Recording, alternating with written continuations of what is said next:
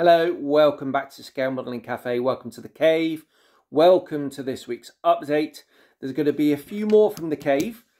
I had my procedure on Thursday, my little operation, and uh, it seems to have gone very well. Uh, although, although the physio is uh, really rather challenging and painful, but you know, it's all part of it, and but getting there.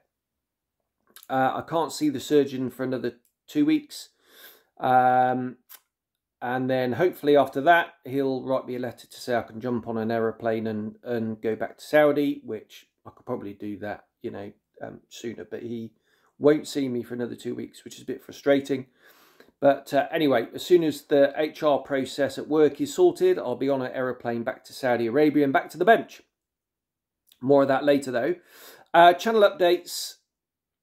The uh, made a couple of videos on Eduard 2025 releases. The first one was uh, a reaction type video, just um, announcing um, in chronological order what they announced at E-Day and then giving my reaction to it. Uh, there was some chap called Tom who got really quite aggressive and angry um, and uh, didn't want to sit through 20 minutes of a poxy video uh, and just wanted a damn list. So I did another video just for Tom. Um, anyway, moving on from that, seems to have gone down quite well, both of those. Uh, Kotare Spitfire then, part three, the construction episode, that went up last Sunday. Um, a lot of people seem to have liked that, uh, you know, raving about how great the, the engineering of the kit is, and it really is really well engineered, but you do have to be careful with um, the cleaning up the sprue joints, uh, you know, the attachment points, uh, scraping paint away, things like that. Um, tolerances are very tight on that, but it does go together extremely well. The last episode goes out, what are we today? Saturday, goes out Sunday. Uh, that's the painting and weathering stage of things. All the markings on that are painted. I used the kit decals for um, the stenciling, um, but I did spray, as you'll see, the wingway um, markings because I can never get long, thin uh, decals straight. So I sprayed those uh, and uh, just removed the appropriate part of the stencil data and I used the um, really cool decals for the um, it's not canvas is it? The RS linen doped fabric stuff over the gun covers. Um, they're really cool so I'll use those decals but all the main markings are sprayed. Um, so you can go watch that and then obviously all the weathering on top of that. Um, and then that's it really for modelling stuff until I could get back and uh, and get back to the bench and bring you something. So what I'll do is I'll bring you um, the uh, inbox review of the Great Wall Hobby F14 in 72nd scale. Um, that looks like an interesting kit. I will um, endeavour to do one as well, possibly of the Spitfire, um, but I'm probably just going to launch straight into that as a project. I was going to do probably the Dora Wings Norseman, just to break up the Spitfires a bit. But actually, I'm so enthused about doing that Laminar Flow Design Spitfire Mark 12 that I'm just going to launch straight into that. So um, that will be two 32nd scale Spitfires in a row. Kind of apologising for that now. Um, because it's not that varied, is it, on the back of the Kotare Spitfire Mark 1. But I'm just really enthusiastic and I just can't wait to, to launch in on that uh, project. Um, really exciting. Now, Jadlam are doing a group build competition on the Airfix Mark 12. They are, uh, I think there's three prizes. Top prize is £100 of vouchers, um, and then sort of second and third. Um, and uh, they're doing a really good deal, twelve ninety nine free shipping on the Airfix Spitfire Mark 12, but you have to finish the model by the 1st of November.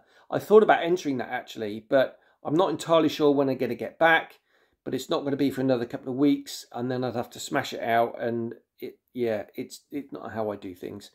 Um, so I won't be partaking in that, but I will be doing my own Mark 12. It'll just being in 30 second scale.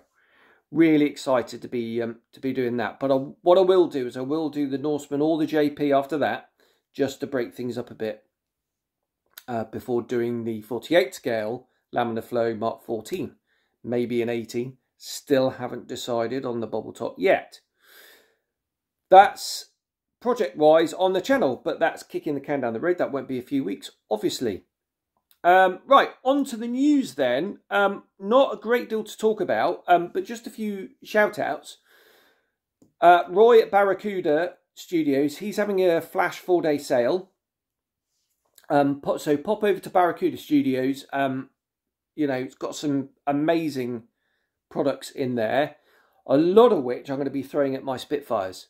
Uh, wheels, cockpit updates, um, all sorts of things. Um, fantastic company, fantastic products. Uh, and uh, yeah, go over and check out that for the four day sale. Uh, right, Red Fox Studio. Um, Red Fox Studios do my favourite of the sort of aftermarket 3D printed resin instrument panels and things. Their stuff is not a decal. It's printed on acetate uh, and it comes on the sort of non-stick paper and you literally peel it off and stick it on. Um, so you don't have to, you know, soak it off the backing paper and all that kind of stuff. I did see that um, the chaps over at uh, Fine Scale Modeler magazine, they're doing their sort of short how-to videos um, by using uh, it's Eduard Space, and they actually are um, like a traditional decal, dunking it in into the water, soaking it for a few seconds, putting it on the side, and then using setting solutions to put the the uh, 3D printed decal on. Now, um, I don't think that's the best way to do it. Um, the best way to do it is to cut out your um, decal that you're going to use, turn it round and just put literally a drop or two on the backing and then put it on something flat if you soak it, it's gonna um, the 3D print can sort of deform and and and what have you, and then use some kind of glue to stick it on. I use the MIG Ultra Glue. Any PVA is good. You can use super glue or anything like that, but glue it on. Um, because it hasn't really got that adhesive. It's not like a decal. It's a 3D printed part, if you like. Um, it's just most of these companies do it on, on the decal paper. Excuse me, bit of wind. Um, but I, I highly recommend not submerging the entire thing into water. As I said, a couple of drops of water on the back, and then you can release it and stick it on. Uh, anyway, that's how I do it. But Red Fox Studio, um, back to them, they have sorted out a deal with DHL and it looks really really good because their um, direct shipping was really expensive. I mean, you can get them through Hannants and you know other shops, online shops like that, but um, direct from the manufacturer, USA, Canada, fifteen euros. If you're in Australia, twenty five euros. If you're in Europe, ten euros. Direct from them, which I think is fantastic.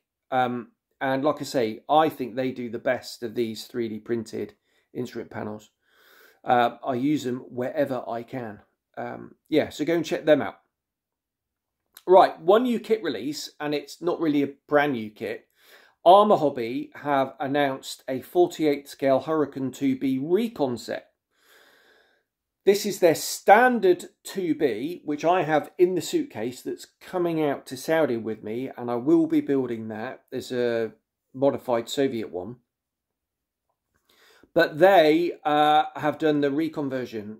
And in that set are 3D printed parts for all the recon bits and pieces. So analogous really to the Sea Hurricane, where you got the 3D printed parts for the Sea Hurricane conversion. This is for the recon stuff and some really, really interesting schemes. Uh, I'm really interested in doing that one myself, but I do have the 2B. There's the other 2C I want to get done. Um, uh, and obviously I've got the P39 to review. Um, so lots of Arma stuff coming to the channel. Um, and if I got that, you know, other stuff will get kicked down the road. But I'm really excited to do that, especially the Southeast Asia one. And I got a thing for the Southeast Asia schemes at the moment. Um, at least one of my Laminar Flow Designs 14s is going to be Southeast Asia. Um, SEAC and um, the 2C I'm going to do as SEAC as well. The, the sort of trop with the chin. I think that looks really cool. Um, and yeah, that looks really scruffy and weathered, that one. I think it was in an all over dark blue. Um, but uh, yeah, anyway, really, really cool. And you can go and check that out. Right, um, that's it for this week. Not too much to talk about, really. Um, nothing really much happening. Obviously, I'm not doing a great deal modelling wise. Uh, most of my day is doing DIY, gardening, cleaning, and my physio. Um, but I do want to get on with a bit of uh, riveting because I do want to finish off that uh, B25, the FX B25 that is part riveted and I just want to finish that off. I did um, mention last time actually that I did bring back with me the Arma Hobby 72nd scale Wildcat and I was going to rivet that as well. I'm kind of wavering on that now because I do have some 3D printed rivets. And I'm thinking maybe it would look better doing um, positive rivets rather than recessed rivets. Um, I don't really know. Um, I'm going to have a think about that. Um, it'll be a big job, but yeah, I I think I might give that a go um, just to see how that turns out. Right, there we are. Um, I think I waffled on um, enough. I'll let you go. Thanks very much for watching. Thanks very much for all your kind feedback uh, about my port shoulder. Um, it's getting better. Um, and uh, yeah, it really is appreciated, all the, all the nice words. So thanks very much for all that, and I'll see you soon. Cheers, bye-bye.